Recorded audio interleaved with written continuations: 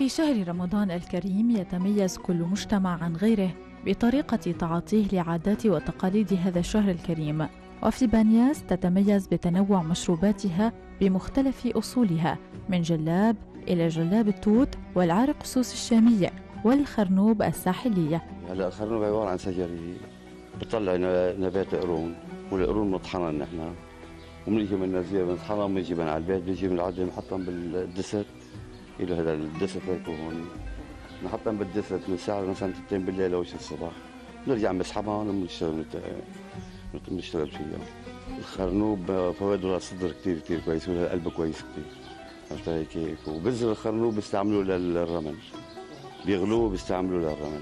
وتعتبر صناعة شراب الخرنوب في بانياس من الصناعات التراثية القديمة والتي تعود إلى أكثر من 150 سنة. كاميرا الإخبارية التقت أحد مصنعي هذا الشراب. طحن وجبناه قمنا بنحطه هون بهالدست هون عرفت علي كيف؟ هون وقت هون إلى محل مأذى نسحبها هيك بالضبط. هيدي هيدي عمليته. هيك بنحر الخروم من هون بنحيك بنحره من هون وهذا هي طريقة السحب اللي له كيف؟ هيك بصير له ميته خرنوبي وهذا هيك ها؟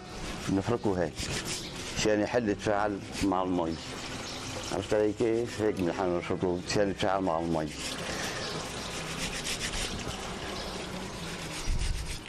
يعتبر شراب الخرنوب من المشروبات اللذيذة والتي تمنح الصائم الحيوية والنشاط وتساعده على حر هذه الأيام الصيفية وتعطيه الكثير من الفوائد الغذائية اللازمة لحيوية صحته وتوازنها. هذا الخرنوب له فائدات كثيرة يعني القلب ما عرفت والصدر والبذر له بصير بينغلي للرمل.